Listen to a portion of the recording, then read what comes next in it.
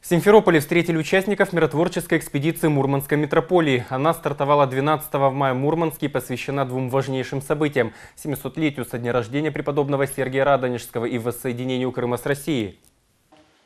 В составе экспедиции священники, творческая интеллигенция, ветераны флота и православная молодежь. Они побывали в Топловском и Свято-Троицком монастырях. Там участники совершили паломничество к святыням и помолились у мощей святителя Луки, архиепископа Крымского. И, конечно, вот в этой экспедиции мы прежде всего и говорим о том единстве нашего общества, которое и зарождается вот через подобные ходы, а, где мы все вместе. И власти, и военные, у нас представитель Северного флота а, здесь есть, и был во встречах в Москве, были представители Северного флота, а, и писатели, поэты, интеллигенция, и дети, школьники. В конце встречи традиционный обмен подарками. По благословению Владыки я хочу э, с большой радостью презентовать вам этот диск нашего совместного телепроекта с телерадиокомпанией «Крым» э, конкурс «Зерно истины» и выразить надежду, что знатоки православной культуры из Мурманска тоже примут в нем скоро участие. Надеемся поучаствовать. Спасибо, Спасибо, Господи.